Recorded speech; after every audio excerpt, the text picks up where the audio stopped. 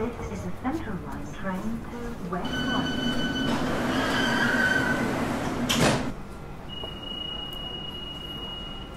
Ladies and gentlemen,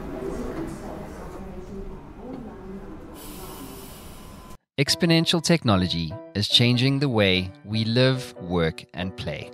But the human mind does not deal with exponential thinking very well.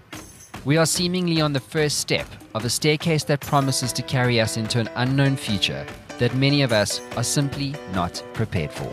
So, to understand the current state of the world's most powerful exponential technology, I have traveled to London Tech Week to meet up with some of the world's leading technologists and thought leaders to help you understand the implications of these technologies on your world.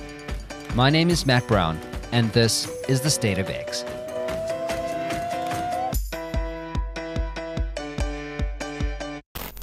This is the biggest and most ambitious festival of technology this country has ever seen. 15 years ago, the area of King's Cross in the borough of Camden in London was a very different place to what it is today. At the time, the King's Cross area was an unsavory and even unsafe area to experience. Today, however, it is being billed as Europe's knowledge quarter. Walking through the streets of this area today, you can't help but wonder why. Why has this transformation taken place? After meeting with tech startups, entrepreneurs, and Argent, the property developers of the Knowledge Quarter, the consensus is overwhelmingly around one sentiment the power of community. One of the most important examples of this idea is the poster child of community in the tech sector in Europe, is London Tech Week. 55,000 delegates and over 300 events in just seven days, showcasing London's leading position as a global technology hub and ecosystem. To understand what goes into pulling off an event of this magnitude and to really get under the hood of the current state of this event, I spoke to Joanna Jones, Partnership Director of London Tech Week.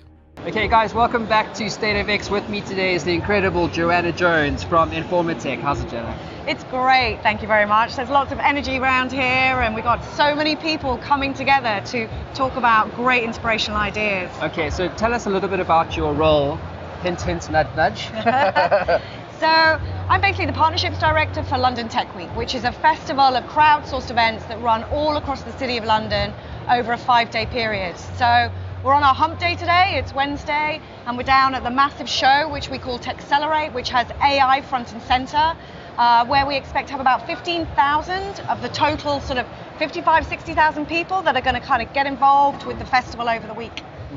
So let's talk about partnerships. So what's really been striking for, for us, you know, walking around uh, TechXLR8 just just this morning is how open everything is. There's very much um, uh, kind of like an open collaboration principle or idea that underpins a lot of this. You know, it's like Oracle was explaining, you know, giving away their IP as it related to like customer journeys. Do you know what I mean? Yeah, And there's just so much technology on display. It's kind of like, hey, look at what we're doing. See what you can learn fr- learn from it. Yeah. You know, and so I just wanted to kind of hammer down on that in terms of partnerships.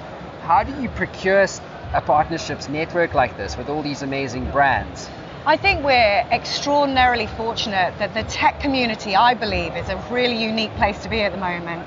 Um, I think everybody understands, you know, the competitive landscape, but equally, um, everybody wants to come together to create um, incredible use case scenarios for um, creating good for, you know, both society and business. Um, we have a phenomenal relationship and um, a partnership with both Microsoft and IBM, who um, commit to sort of a headliner status with us, which runs throughout the whole week. Um, and equally, then we have some fantastic um, support from, as you can see, a number of these different brands here. But the special thing about the festival is that it gets cut through. We have grassroots right through to those big corporates. Yeah. And that's the magic. Yeah, exactly. So you mentioned for good, um, Microsoft and IBM being your title sponsors. What Yeah. what is technology for good all about at London Tech Week? I think it's looking at all kinds of scenarios where you know we can um, impact something in, a, in an incredible way. You, you, we were just talking to a lady who was talking about this uh, thermal efficiency app that they're creating and using AI to understand how you would manage um, heating systems. Um, and then you talk about other things where we're trying to look at accessibility for all using technology. So anyone who has some kind of disability will, will be able to experience the world in a much more enriched way. So just tons and tons of examples of some really awesome things going on. So this is your third year Yep. out of the last six years. How have you seen London Tech Week change uh, over the last three years? Well, apart from the scale, you know, every year it gets bigger and better. We're seeing so much more involvement, so much more noise around what's actually happening. The international connections are great. This year we have over 7,000 people that have joined us here in the UK to better understand what we're doing here, but we also and equally want to understand what you guys are all doing in other places, sharing best practice, you know, looking at bridging those international trade and investment um, opportunities uh, to really, again, um, establish a fantastic, you know, economic environment for everybody um, in which we can all enjoy it in the long term. So one of the things about London Tech Week that's been quite striking is all the different narratives that are coming out. You know, there's a huge AI presence, but not so much blockchain. Do you know what I mean? Yeah. Uh, what What's the big narrative that you see coming out of this year's London Tech Week that we need to know about? Interestingly, I would I would spin it out of talking about tech specifically.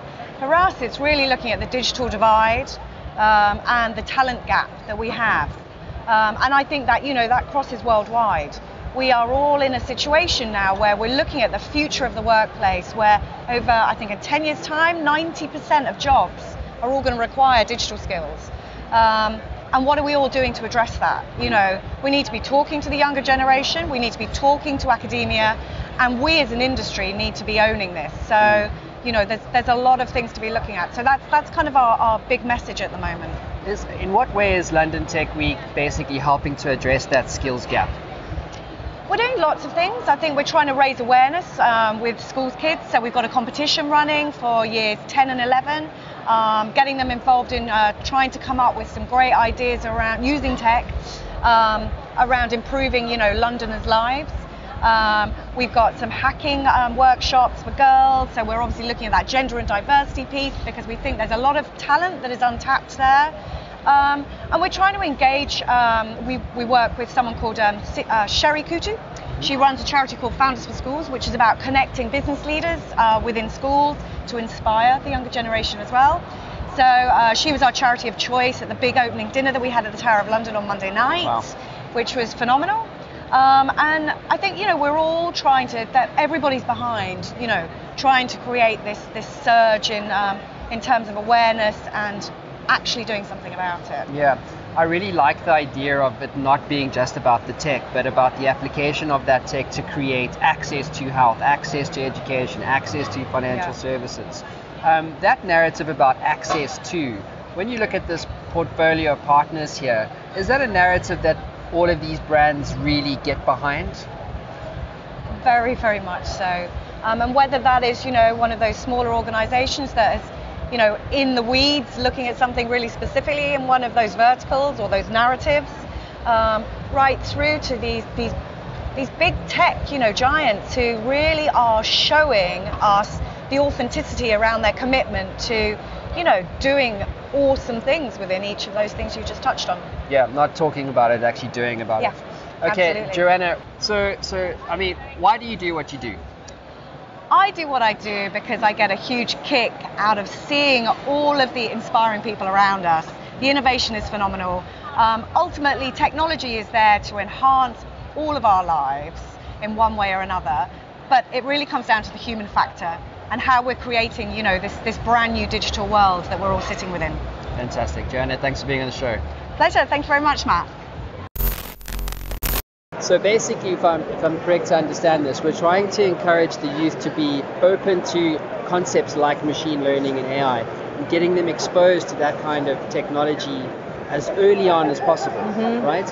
Why? Why so young?